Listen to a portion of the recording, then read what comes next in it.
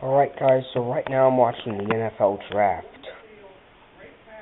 And one thing that came to my attention was Trent Richardson was picked third overall. And as soon as he heard the news, he kissed his like his he kissed his like about five year old sister. Four year old. Four year old, whatever. And anyway, I'm not I'm just not I'm not talking about just on the cheek or anything. I'm talking hardcore smoochy smooch. I mean, seriously, it was right on the lips.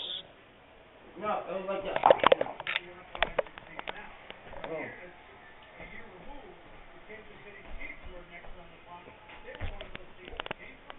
Like that. Except Yeah. that he wasn't putting his hands on his back like I was. Yeah, it, And it looked real. yeah, it it was just like that. Trent Trent Trent Richardson must be desperate. I mean, I I thought it was against the law to marry your sister. Um, I think one of the presidents did it. James Buchanan, yeah, he did that. No, she was like the first lady. Okay, well, this is really weird.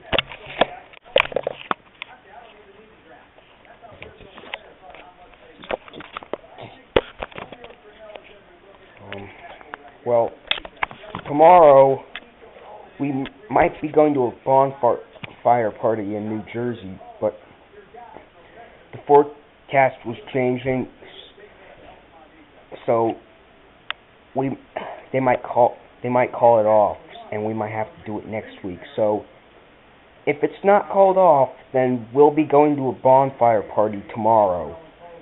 Tomorrow afternoon. But the bonfire party's not tomorrow, it's on Saturday.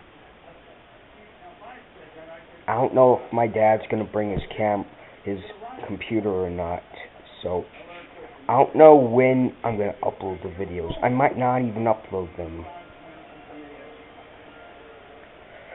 And if we're not, and if it gets called off, then we'll be going.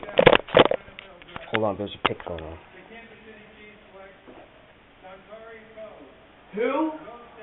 Who is that?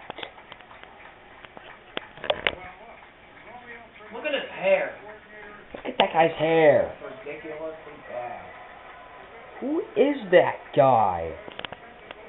Never heard of him in my Okay. life. Anyways, um, if the bonfire party does get called off, then t- on Saturday we'll be going to a Stride baseball doubleheader against Norfolk State.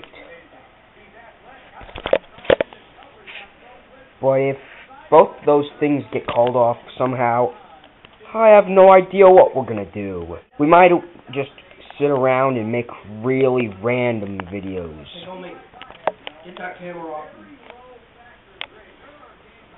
That was really weird. Okay, well this is getting this has gotten way too long, so bye. I have no idea which channel I'm gonna upload this on, so I don't just you know I I don't know, just bye.